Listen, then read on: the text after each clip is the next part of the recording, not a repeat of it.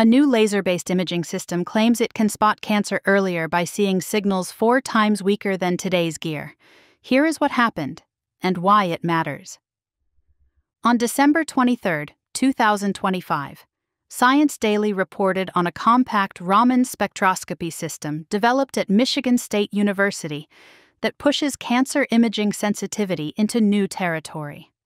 The device shines a finely tuned laser onto specially designed nanoparticles that attach to tumor cells, and then measures the ultra faint light those particles scatter back. That scattered light carries a kind of spectral fingerprint revealing whether the tissue is cancerous or healthy.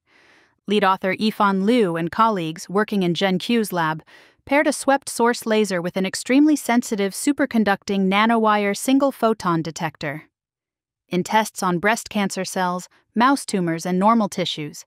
Their setup detected useful signals about four times weaker than a comparable commercial system could see.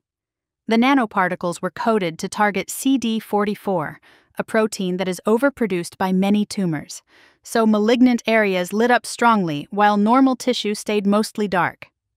If future studies confirm these results, surgeons and oncologists might eventually use similar tools to find suspicious areas earlier, guide biopsies more precisely, or check during surgery that all malignant tissue has been removed. I think technologies like this could reduce how often small early cancers slip past our current screening systems. They also highlight how combining smart chemistry with cutting edge detectors can upgrade medicine without needing massive hospital machines.